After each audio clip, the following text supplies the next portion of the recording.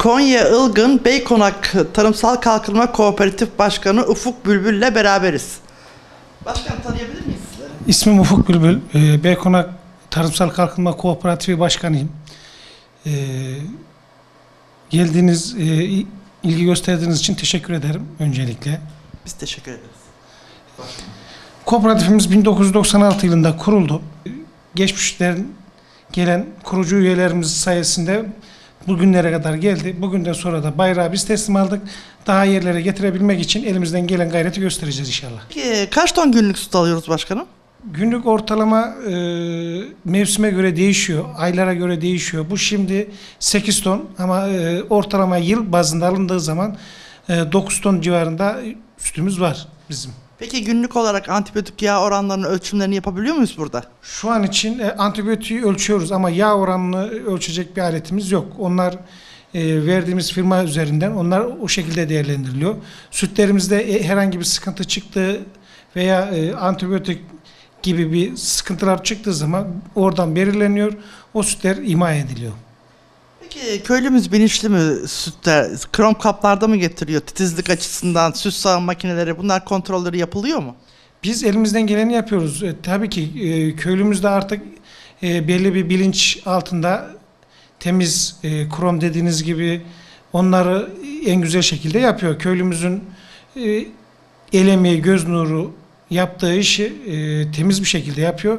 Biz de bu şekilde süt tanklarımızın günlük bakımlarını, aylık bakımlarını, tartımların kontrollerini bizzat e, bilir kişi altında onları e, sağlamaya çalışıyoruz.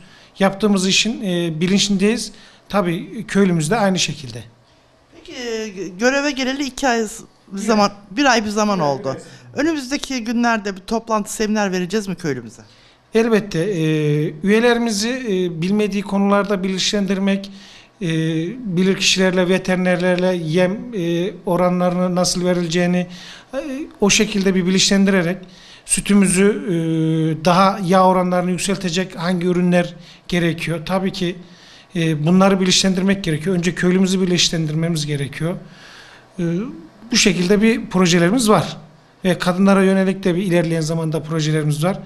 Onları da zaman içerisinde değerlendirmeye alıp ilerleyen zamanlarda inşallah gayret göstereceğiz yani. Kooperatif adına bayanlara el becerileri teşvik edecektiniz. Bayanlarımız artık ekonomiye can vermesi gerekiyor.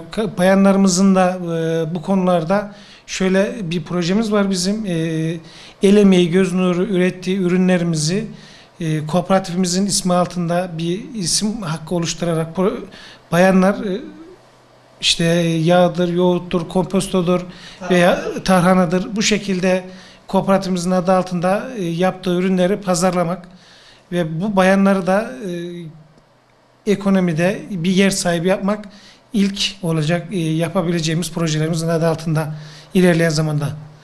Peki kooperatifimizin öz malları nelerdir başkanım? Kooperatifimizin öz malları e, iki tane arabamız var. Süt toplayan. E, dışarıda gördüğünüz bizim e, süt tanklarımız var. Kaçar don- tonluk? E, biri 4,5, biri 2 ton, 6,5 ton kapasitemiz var şu an.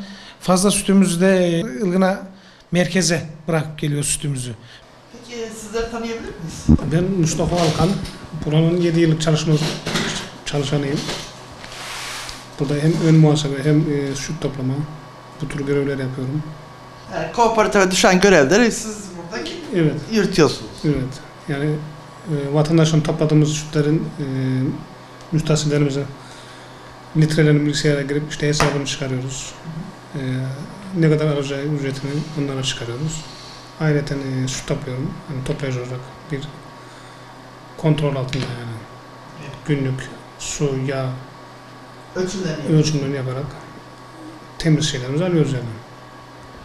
Peki başkanım bizim sormadığımız, sizin söylemek istediğiniz Tarım Türk ekranlarına Dediğimiz gibi ilk önce tarım tarıma kadınların da el atması gerekiyor. Yani e, bir kadın eli değmesi gerekiyor. Öncelikle bizim hedefimiz bu şekilde. Ha, e, Erkeğin yapacağı iş ayrı, e, bayanın yapacağı iş ayrı ama bir bayanları da bu sektöre katmamız için bir teşvik gerekiyor, bir bilinçlendirme gerekiyor. yani evde oturup da eşlerinin ellerine bakmasın. Onlar da bir kazanç sağlasınlar. Evet, evet, yani onlar da bir kazanç sağlasınlar. Nasıl?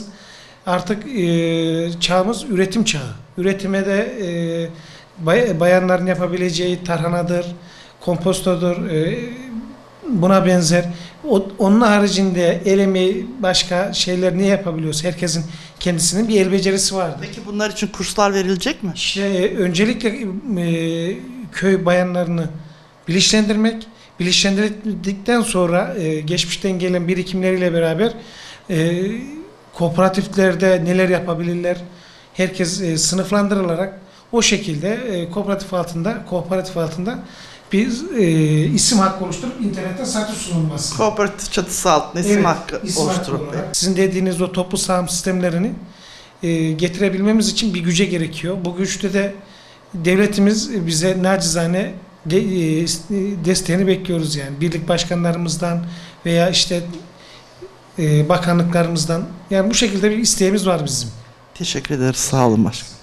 Başkanım köyümüzün tarihi buradan mı, ismi buradan mı kaynaklanıyor? Köyümüzün e, ilk ismi Tekke'dir. Tekke'nin de e, isim kaynağı burasıdır. Burada e, e, dedelerimizin bize anlattığı yatırların olduğu, e, değerli kişilerin olduğu içeride.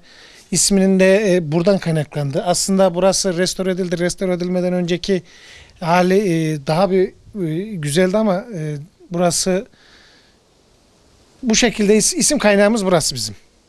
İçeride e, yaklaşık e, dört tane mezar var. Onların hepsi- hepsinin Yatır olarak. yatır olarak söylendiği. e, Peki kimlerin yatırı olduğu belli mi? işte Selçuklular döneminden gelme orası. E, o kadar derin bilgiye sahip değilim yani. Tamam başkanım teşekkürler.